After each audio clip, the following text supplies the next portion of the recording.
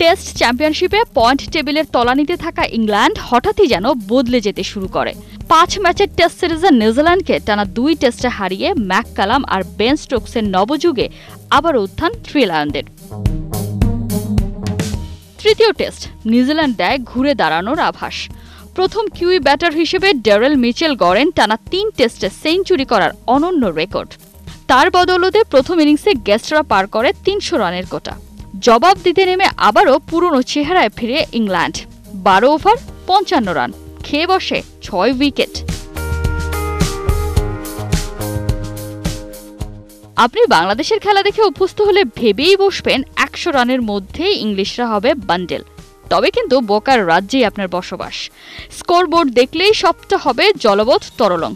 কারণ আর কোনো উইকেট না হারিয়ে ইংল্যান্ড দিন শেষে করে দুশো চৌষট্টি রান। এই জন্যই হয়তো বলে টেস্ট ক্রিকেট ইউ বিউটি আক্ষরিক অর্থেই যখন ইংল্যান্ড পরিণত হয় ধ্বংসস্তূপে, ঠিক তখনই ক্যাপ্টেন প্ল্যানেটের সুপারহিরোর মতো হাজির জনি বেয়ারস্টো।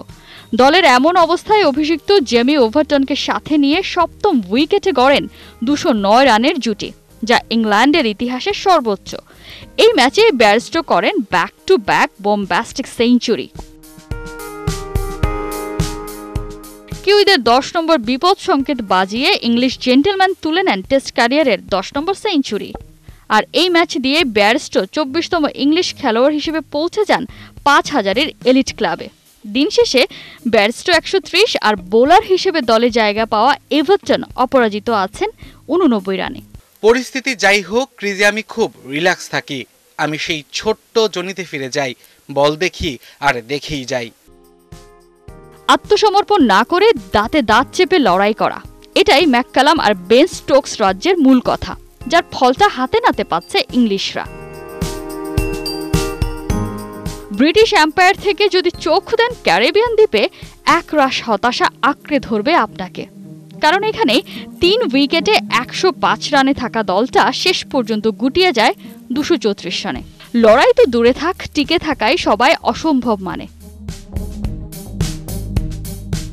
অতপর মনে জাগে সেই পুরনো প্রশ্ন।